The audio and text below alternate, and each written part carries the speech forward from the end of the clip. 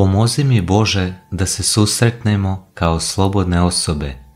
Pohodi me da ti dođem kakav jesam. Oslobodi me mojih lažnih veličina, mojih krivi skromnosti, mojih istina i zabluda o meni, mojih slika i prilika, mojih uloga i poziva. Daj da stanem, da kleknem predate, gol golcat, onakav kakav jesam u tvojim očima. Oslobodi me od mene sama za susret s tobom. Nauči me biti ja, nauči me moliti. Pomozi mi Bože da tebe susretnem kakav ti jesi. Ne poznajem te niti ljubim kako valja. Očisti moje iskrivljene slike o tebi. Neka se isprave misli moga prijašnjega iskustva o tebi. Neka se moje stare molitve objele u tvome svjetlu, veliki Bože. Oslobodi me mojih idolskih ideja, Bože istiniti. Progovori, ne kroz knjige i moje misli i pisanje, niti kroz ono što sam pogrešno naučio i čuo o tebi.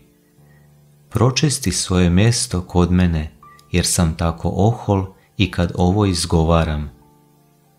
A kada tebi dođem, a kada dođeš meni, oslobodi me od stvari koje me sputavaju, od briga koje me muče, od veselja koje nije pravo, od zanosa površnoga, od suze lažne. Donosim ti sebe. Uvedi red u moju svakodnevnicu i daj da ušutim, da ušute moji interesi, moje želje i poslovi. Ali neka to ne bude bijeg, neka i susreta s tobom i te stvari zadobiju svoje pravo mjesto. Osobito te molim da ušutim kako bih tebe čuo. Govori ti, prekini me u riječi, jer ja ne znam stati. Vidiš da hoću iskočiti iz sebe. Riječi su moje postale mreža moje vlastite zapletenosti. I daj da ti zahvalim zbog tebe, ne lažno, ne zbog novoga dara, nego zbog tvoje dobrote. Daj da uvijek iznova osjećam sebe grešnim, ne iz straha, nego zato što to jesam. Daj da ne iskorištavam tvoju strpljivost, tvoje milosrđe. Daj da spoznam svoju mjeru, da se ne posilim, osobito ne pred drugima, Vruće te molim da riječi prejaka suda ostavim tebi. Neka mi ne pada na pamet osuđivati moje bližnje. U trenu kada to hoću, ti stigni. Stigni i reci ne. I daj da uvijek budem radostan u susretu s drugima, da slušam druge, da im budem dio tvoga dobra.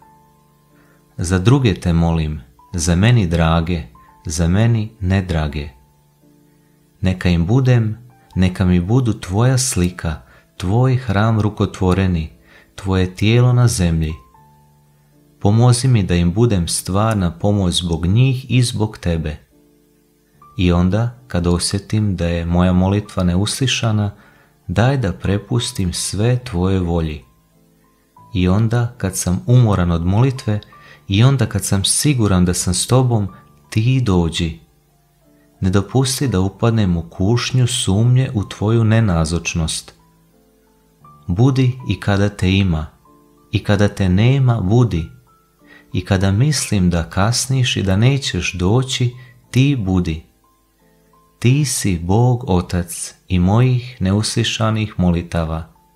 Odaj da ne jurim za nemogućim, da te ne molim za svašta, da te ne miješam i ne spominjem ondje gdje ti nije mjesto daj da ti ostavim prostor i ondje gdje mislim da nemaš što tražiti. Bože, susretnimo se već jednom po Tvojoj volji.